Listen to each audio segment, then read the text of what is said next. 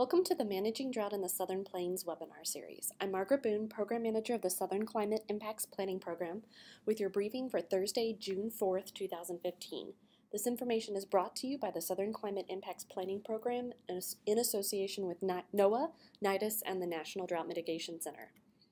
So what's new? It's amazing what a month of heavy rain can do.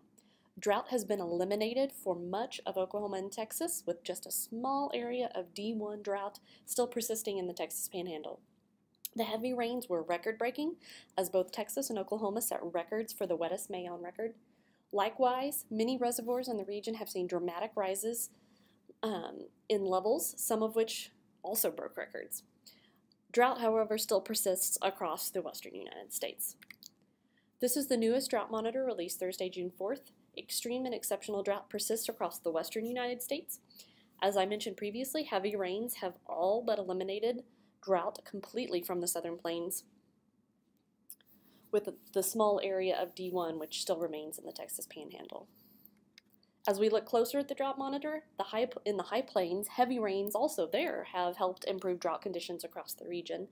Across the southern plains, again, we can see the small area of D1 drought in the Texas Panhandle and a few pockets of D0, which is considered abnormally dry conditions elsewhere. Across the west, extreme and exceptional drought continues um, in that region. Rainfall departures over the last 14 days show the vast amount of heavy rain that fell across portions of the southern plains.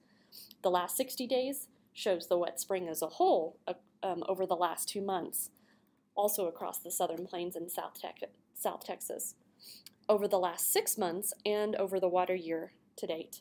Because the spring rains have been record setting and we've had so much heavy rain, the percent of normal rainfall is still showing as high over the last six months and the water year. To highlight the heavy rainfall across the southern plains, this is the 60-day rainfall amount in inches from the Oklahoma Mesonet Every mesonet station in Oklahoma has seen at least 7 inches of rainfall over the past 60 days. The lowest amount, 7.5 inches, is in the Oklahoma Panhandle, and the highest is 33.2 inches in southeast Oklahoma. This record setting rainfall has not only broken the record for the wettest May on record, it has also broken the wettest month of any month on record for Oklahoma City. Good news is that many reservoirs have been recharged with all these rains, the bad news is many of these reservoirs are also in their flood pool, and serious flooding has been a real concern across both Oklahoma and Texas. So this is a screenshot from our SCIPP reservoir tool, which will be available soon on our SCIPP website. The reservoir shown is Lake Arrowhead, which is near Wichita Falls. The graph in the middle shows the reservoir level over uh, the month of May. You can see the reservoir levels rise quite dramatically over the last 30 days, going into the flood pool by the end of the month. This has been consistent for most reservoirs across northern Texas and Oklahoma. Lake Texoma in southern Oklahoma, North Texas reached its all-time record high level at the end of May, beating the record set back in 1990. Many Oklahoma and Texas reservoirs have had to open their floodgates, uh, releasing thousands of cubic feet per second of water. And there are some great uh, videos if you happen to go and look um, at the Army Corps of Engineers, especially the Tulsa district and the Little Rock district, have both posted some great pictures and videos online um, of these uh, water releases going on at the various reservoirs. Looking ahead, the five-day outlook shows heavy rainfall possible across the central and northern plains as high pressure remains across the southern plains, allowing us to dry out a little bit. Temperatures across the southern plains and the Pacific Northwest are expected to be above normal.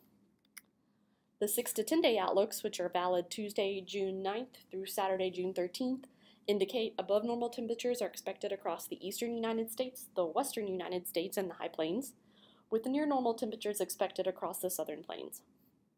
Above normal precipitation is possible across much of the United States with drier than normal conditions expected across portions of Texas and the northern tier of states. The Climate Prediction Center's three-month outlooks were updated May 21st and they reflect the months of June, July, and August.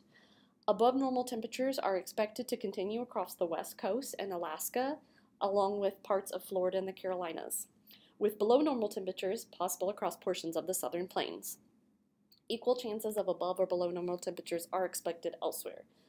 Above normal precipitation is expected across the Intermountain West and into the southwest and southeast through the southern plains, with a small area of below normal precipitation possible in the Pacific Northwest. Equal chances of above or below normal precipitation is expected elsewhere. The monthly drought outlook was issued May 31st and valid for the month of June. Drought persistence is expected across the majority of the drought stricken areas of the western United States. The few areas of abnormally dry conditions um, across the southern plains in Oklahoma and Texas are expected to improve. As always, please join us for these briefings and full topic webinars, though they may become less frequent right now as drought conditions have improved across our region. For more information, you can visit our SCIPP website, southernclimate.org, to register for more information if you haven't already. These briefings will be posted to the SCIPP YouTube channel as well as our SCIPP website. Please like us on Facebook or follow us on Twitter at SCIPP underscore RISA for more information. We thank you for joining us and have a great week.